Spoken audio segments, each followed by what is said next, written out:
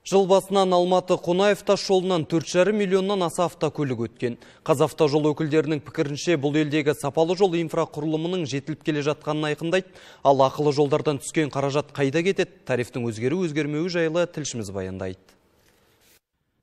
Алматы облысында үш ақылы жол бар. Республикалық маңызы бар жолдарда көлік ағыны көп. Мәселен, Алматы Қонаев тас жолында 4 миллион 800 мың мәрте көлік жүріп өткен. Қонаев Талдықорған бағытында 2 миллион 700 мың. Ал Алматы Қорғас күре жолында бірде 6 миллион көлік жол жүрген. Бұл жыл басынан бері жиналған көрсеткіш.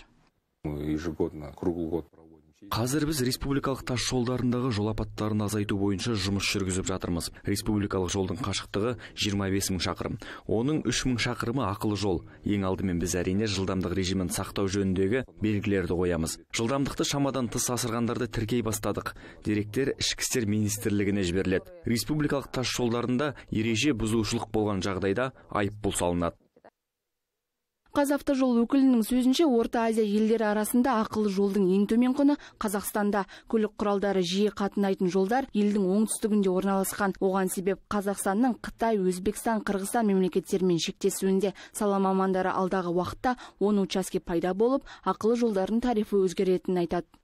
Мы сейчас э, с этого года Ақылы жолдар күтімді талап етеді. Учаскелерден түсетін қаржы жолды күтіп ұстауға жұмсалады. Біз төрт мезгілге қарамастан жолдың жай күйін бақылап, кедір бұдыр жерлерін жөндеп, қардан тазалап, қоқыстарын уақытылы жинап отыратын жұмысшыларымыз бар. Оларға берілетін жалақы да осы қаражаттан ұсталады.